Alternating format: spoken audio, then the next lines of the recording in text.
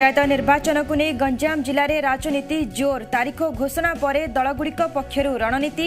ଯୋଗ୍ୟ ପ୍ରାର୍ଥୀ ଚୟନ ଲାଗି ପ୍ରତି ଜୋନ୍ରୁ ତିନି ଜଣଙ୍କୁ ନେଇ ବିଜେଡିର ତାଲିକା। ଜିଲ୍ଲାରେ ସମ୍ମାନ ବଞ୍ଚାଇବାକୁ ବିଜେପିର ବ୍ଲୁପ୍ରିଣ୍ଟ ପ୍ରାର୍ଥୀଙ୍କ ଭାଗ୍ୟ ଉପରେ ହିଁ ଦଳର ଭବିଷ୍ୟତ କହିଲା କଂଗ୍ରେସ।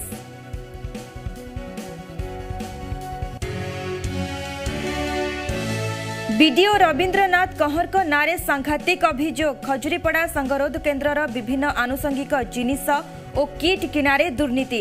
ମିଥ୍ୟା ବିଲ୍ କରି ଲକ୍ଷାଧିକ ଟଙ୍କା ହଡପ କରାଯାଇଥିବା ଅଭିଯୋଗ। ଖର୍ଚ୍ଚ ସମ୍ପର୍କିତ ତଥ୍ୟ ଦେବାକୁ ବିଡିଓଙ୍କୁ ନିର୍ଦ୍ଦେଶ।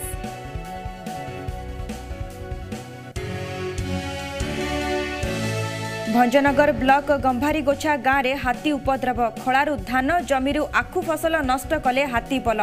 ଘୋଡ଼ାଇବାରେ ବନ ବିଭାଗ ଫେଲ୍ କ୍ଷତିପୂରଣ ପ୍ରଦାନ ପାଇଁ ଚାଷୀଙ୍କ ଦାବି।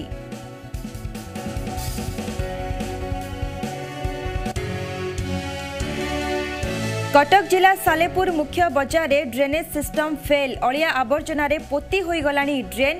ନିର୍ମାଣ କାର୍ଯ୍ୟରେ ବିଳମ୍ବକୁ ନେଇ ଅଞ୍ଚଳବାସୀଙ୍କ ମଧ୍ୟରେ ବଢ଼ୁଛି ଅସନ୍ତୋଷ। ବାର୍ଦ୍ଧକ୍ୟ ଅବସ୍ଥାରେ ବାପାଙ୍କୁ ପର କଲେ ପୁତ୍ର। ଖାଇବାକୁ ନ ଦେଇ ଘରୁ ବାହାର କଲେ ତିନି ସନ୍ତାନ। ପିଣ୍ଡାରେ ତିନି ଦିନ ରାତି କାଟିବା ପରେ ଉଦ୍ଧାର କଲା ବ୍ରହ୍ମପୁର ବଡ଼ବଜାର ଥାନା ପୋଲିସ। ବୃଦ୍ଧଙ୍କୁ ଘରେ ଛାଡ଼ିବା ସହ ପରିବାର ଲୋକଙ୍କୁ ତାଗିଦ ଘଟଣାକୁ ସାଧାରଣରେ ନିନ୍ଦା।